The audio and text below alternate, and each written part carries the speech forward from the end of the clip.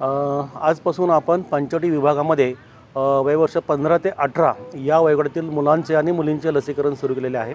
ज्यांचं वय पंधरा वर्ष पूर्ण आहे आणि ज्यांना दोन हजार बावीसमध्ये अठरा वर्ष पूर्ण होणार आहेत असे या वयोगटातील सर्व विद्यार्थी विद्यार्थिनी या लसीकरणासाठी पात्र असतील. यांच्यासाठी आपण कोवॅक्सिन ही लस देणार आहोत. या लसीचे दोन डोस असतात. पहिला डोस घेतल्यानंतर अठ्ठावीस दिवसानंतर दुसरा डोस. आजच आपली सुरुवात झालेली आहे. त्याच्यामुळे पंचवटी विभागात फक्त ह्या एकाच ठिकाणी हे अवेलेबल आहे. आज दुपारी चर्चेनंतर आपण ह्या केंद्रांची संख्या वाढवणार आहोत. आपला रिस्पॉन्स कसा मिळतो हे बघून.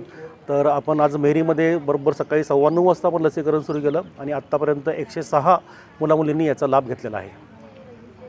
विभागामध्ये सिडिओ मेरी जे सेंटर आहे कोडी सेंटर आज आपण पंधरा ते अठरा वर्षातील मुलं मुलींसाठी लसीकरण आज चालू केलेलं आहे. आज सकाळपासून एकशे सहा विद्यार्थ्यांनी लसीकरण घेतलेले आहे. त्याच्यात आपले वैद्यकीय अधिकारी असेल आपलं देवकर सर असतील पगारे डॉक्टर असतील मंगेश भाऊ असतील सर्व आपल्या सिस्टर असतील सर्व स्टॉप असतील.